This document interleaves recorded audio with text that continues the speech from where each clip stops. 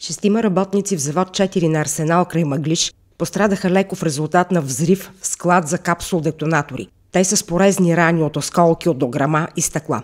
Прегледани са в спешния център в Казанлък. Четирима са освободени, жена и мъж са оставени за наблюдение в общинската болница. Складът е напълно унищожен, нанесени са сериозни материални щети на съседните сгради. Пет минути преди инцидента, пазачът е обходил района. Видеонаблюдение не е установено до момента. Огледът и разследването е възложено на следователи от Националната следствена служба. Образувано е досъдебно производство. Ако се установи виновно длъжностно лице, наказанието е затвор от 3 до 12 години. В конкретния случай се разследват множество версии. Версията за умисъл също не е изключена. Тя е една от основните версии.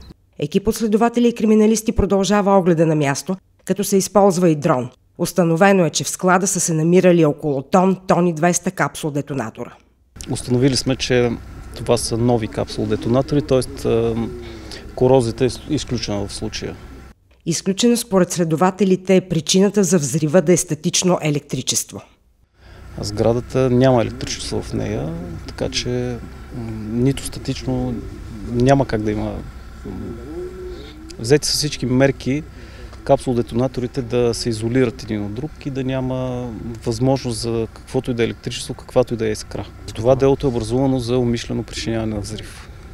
Съпругът на работеща в съседен цех чакаше отпред жена си. Разбрах за новината от нея, че положението е много зле, има съборени сгради. Доколкото ми каза тя, има и ранени хора. Всички работници в завода бяха освободени. Той ще остане затворен до края на седмицата, ако няма друго нареждане.